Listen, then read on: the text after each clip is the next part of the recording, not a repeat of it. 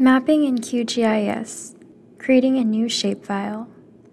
Often we acquire a dataset which contains more geospatial data than we require.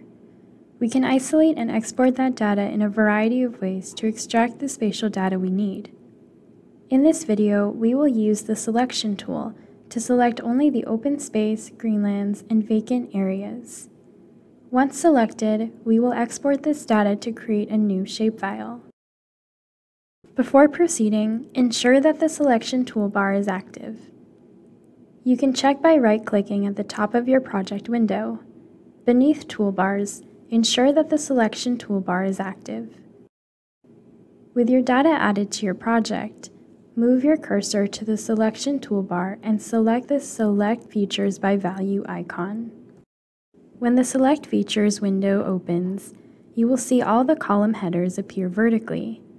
In this case, we only want to select open spaces and vacant lands. Beside land use, click on the icon which says Exclude Field and select Equal to. In the text box beside land use, type in Open and select the open space Greenlands. At the bottom of the window, click on Select Feature. In your map, the features will become selected. Next, let's add the vacant areas to our selection. Move your cursor back into the land use text box and type in and select vacant. Move your cursor to the bottom of the window and select the drop-down menu and select Add to your current selection. Our open green spaces and vacant lands are now selected in our map. Close the Select feature window. To export this data as a shapefile, right-click on the layer in the Layers pane and select Export Save selected features as. Beside Format, ensure your format is set to Esri shapefile. Beside Name, select the Browse icon to browse to your desired location.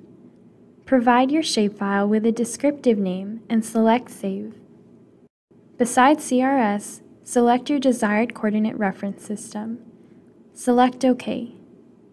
Your new shapefile has been created and will appear in your Layers pane. For more information on QGIS, visit the UTM Library QGIS playlist.